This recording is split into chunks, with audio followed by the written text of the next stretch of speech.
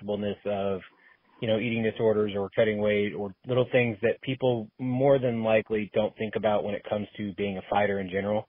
Um, so uh, thank you for for that and what you're doing with kids and what you will do in the future. So uh, I look forward to seeing what the future holds for you, and uh, hopefully we get to talk to you again.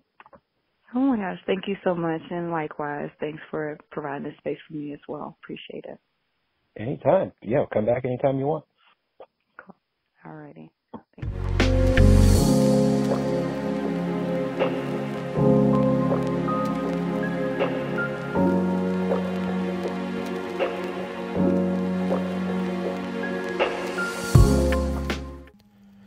Thank you so much, Brittney, for being on the show. Uh, amazing conversation, and I love talking about mental health the way we did. And uh, again, it needs to be a conversation people have on a regular basis, and don't just shy away from it.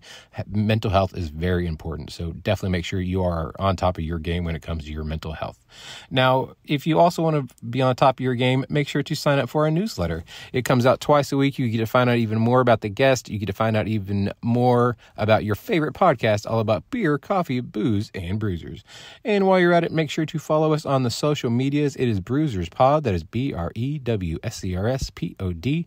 We are on the Instagram, the threads. We are on on Twitter, we are on Facebook, we are on Reddit, we are on the YouTubes. Just go out and find us. And if you have any comments, questions, concerns, or requests, send them over to brewserspod at gmail.com. And if you want to follow me directly, it is Rodie Jon. That is R O D I E J O N. Rodie Jon is the name on the Twitter and on Untappd. In case you want to find out what I'm drinking, maybe we can have a beer together. And if you want to follow me on the threads and Instagram, it is official Rodie Jon. And if you want to send me an email, it is rodiejon at gmail.com. So until next time, make sure to go out and enjoy life, drink local, and cheers.